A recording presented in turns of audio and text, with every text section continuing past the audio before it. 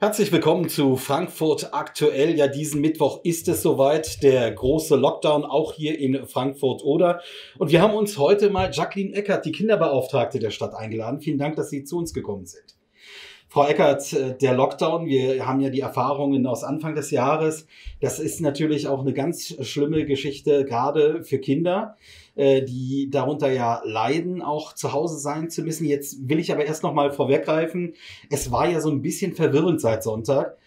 Sind bestimmte Kitas geöffnet oder nicht? Ähm, wie kam das zustande?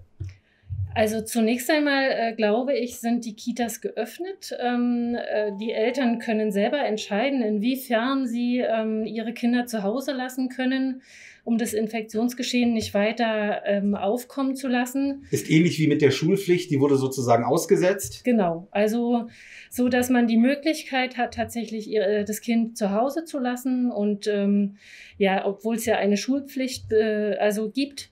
Aber äh, im Grunde haben die Kindertagesstätten und Schulen geöffnet. Ähm, und es ist auch nicht so, dass es jetzt äh, die sogenannte Notbetreuung gibt, sondern die Tagesstätten haben ganz normal geöffnet. Aber natürlich ähm, die Bitte, wenn irgendwie möglich und man als Familie das irgendwie sicherstellen kann, die Kinder möglichst zu Hause zu lassen, um eben das runterzufahren, das Infektionsgeschehen. Viele Eltern werden das sicherlich auch freiwillig gerne tun, ihre Kinder zu Hause zu lassen und jetzt keiner Gefahr noch auszusetzen.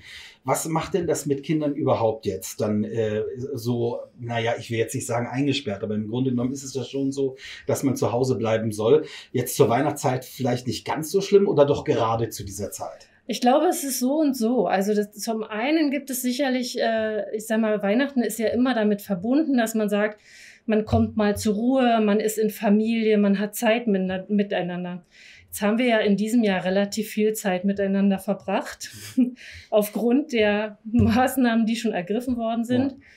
Und natürlich ist es so, dass das an Kindern nicht spurlos vorbeigeht. Also sicherlich wird Weihnachten mit den Geschenken, wenn es denn also die Wünsche auch erfüllt werden können. Und das muss man ja auch immer noch mal an der Stelle sagen, dass es da vielen Familien vermutlich in diesem Jahr nicht ganz so leicht fällt, äh, den Kindern die Wünsche zu erfüllen. Wird es aber trotzdem so sein, dass sich ganz viele Eltern die Mühe geben, dass es für die Kinder nicht so schlimm wird, wie wir es alle befürchten. Ist es vielleicht sogar so, dass es vielleicht sogar, ja, ich sag mal, den, den Zusammenhalt der Familie vielleicht sogar auch ein bisschen stärkt? Gut, das ist der positive Ansatz, den wir versuchen alle zu fahren, so dass wir alle sagen, natürlich äh, trägt es dazu bei, dass man sich wieder auf sich besinnt, auf das eigentlich Wichtige. Aber es kann natürlich auch dazu kommen, und das ist uns allen ganz klar, dass es natürlich auch aufgrund der verschärften Situationen, der Ängste von Eltern, auch zu Situationen kommen könnte in Familien, dass es eben nicht so gut hm. läuft. Wo können sich denn Elternteile äh, hinwenden, wenn sie merken, sie sind äh, total überfordert mit, mit ihrem Kind? Gibt es da irgendwie eine Hotline, die man, die man anrufen kann in dieser Zeit jetzt? Also es gibt ähm, eine Hotline, ist es nicht, es ist eine Notrufnummer. Ähm, also es gibt zwei Möglichkeiten. Bis Weihnachten und auch zwischen den Jahren ist das Amt für Jugend und Soziales besetzt dann kann man hier über die normale Hausnummer das, äh, die Mitarbeiter erreichen und die werden dann weitergeleitet an die ASD-Mitglieder, die, also Mitarbeiter, die dazu, dafür zuständig sind. Und es gibt aber auch an Weihnachten eine Nothilfenummer vom Kinder- und Jugendnotdienst, der hier in Frankfurt-Oder sitzt. Das ist eine kostenlose Nummer, da können sich Kinder, Jugendliche, aber auch Eltern hinwenden. Die werden erstmal beraten und erstmal am Telefon und dann muss es aber einen Termin geben, weil die natürlich auch unter dem Hygienekonzept liegen und die müssen es einfach ein bisschen planen, damit sie äh, da keine Fehler machen. Mhm. Und äh, ich, wir wollen es mal gar nicht so, so, so schwarz malen, wenn es jetzt aber einfach Eltern gibt, die fragen, oh mein Gott, was kann ich denn jetzt noch mit meinem Kind irgendwie anstellen, ja, zu Hause in den vier Wänden? Ähm, einfach so ganz banale Dinge. Gibt es da irgendwelche Tipps oder einfach nur vor den Fernseher setzen und sagen, viel Spaß? Naja, also ich, ich bin ja ein großer Fan äh, von so Traditionen, die wir natürlich auch versuchen aufrechtzuerhalten. Sie sind ja selber Mutter von mehreren Kindern. Genau, von zwei Mädchen, aber die, also da ist das eben auch so, dass es irgendwie jetzt auch langsam besser werden muss, weil die einfach auch nicht wie im Frühjahr auch mal rausgehen können, so wie sie es da taten, tun konnten.